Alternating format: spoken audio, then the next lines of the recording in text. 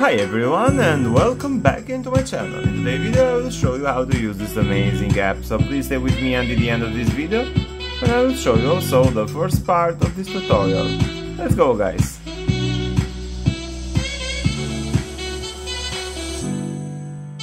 Write the name right here. Okay guys, here it is. All you have to do is to tap right here and tap again. So if you're using Android everything will be automatically nice if you do something I will show you, but more important for me is to give a feedback, to say something about the way that I'm using my mobile device. So please say something, comment below, write in the chat box, whatever guys, just give a feedback. If something is not going correctly, don't hesitate to mail me. At 100% we go at the settings. Okay guys, just wait a few seconds more. So after that we should go at the settings and you will see this profile pop right here, tap it guys. So all you have to do is to tap right here, next, tap again, and done. Let's see guys, okay perfect, everything looks just fine, so now enjoy the first part of this tutorial. Let's start now guys.